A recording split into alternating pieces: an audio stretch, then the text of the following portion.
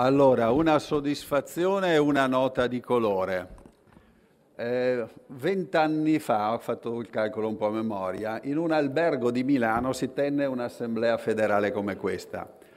La notte prima si tenne eh, la segreteria che eh, doveva indirizzare i punti, che questa era la linea, la strada del progetto della Lega.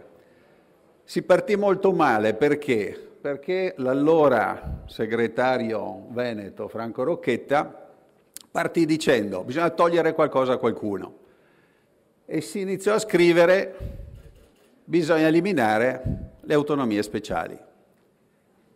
Io, il segretario del Friuli e della Val d'Aosta, eh, si disse ragazzi togliamo il disturbo, noi non possiamo andare a casa nostra a dire che facciamo no? marcia indietro, la storia ci ha portato a questo punto e grazie anche all'intervento illuminato di Miglio, disse ragazzi non si vincono battaglie inserendo marcia indietro, dobbiamo spingere verso no? il futuro e eh, le aspirazioni che devono essere questi modelli. Oggi in questo tavolo, o ieri in questo tavolo, oggi ratifichiamo, si dice esattamente questa cosa.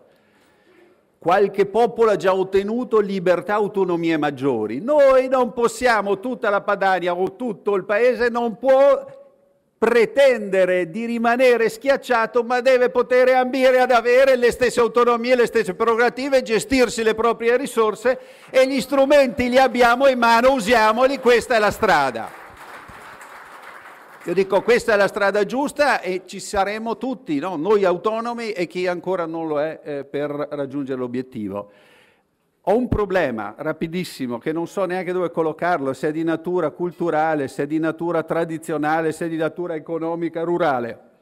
In Trentino, in Trentino Roberto, oggi, e mi è stato comunicato adesso per cui non ho potuto dirvelo ieri, hanno iniziato a fare delle retate, è iniziata la vendemmia, delle retate nei campi dove si vendemmia per verificare se i lavoratori sono tutti in regola. Da noi, ma penso dappertutto, soprattutto le piccole aziende, mi pare che in Sicilia, ma neanche a Sarno con i pomodori vanno a controllare, mi pare lì.